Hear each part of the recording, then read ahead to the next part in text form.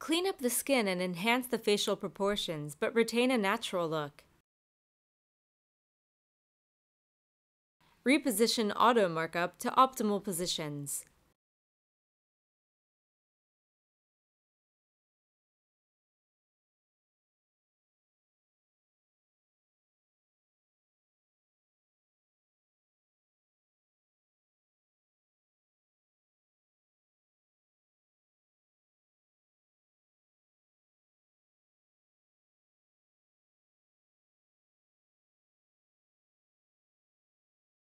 Gently adjust the face sculpt sliders to slim her face a little, but keep the same expression.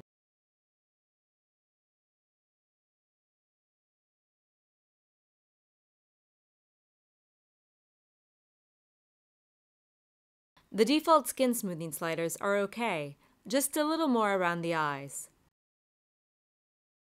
Increase the vibrance of the hair. Now work on the other face. Reposition auto markup to optimal positions.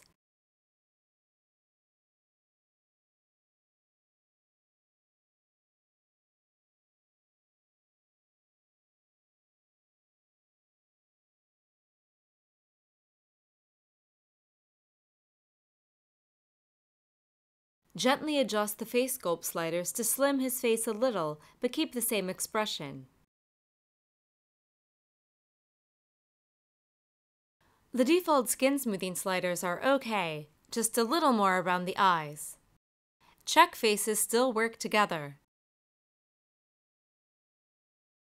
From this to this.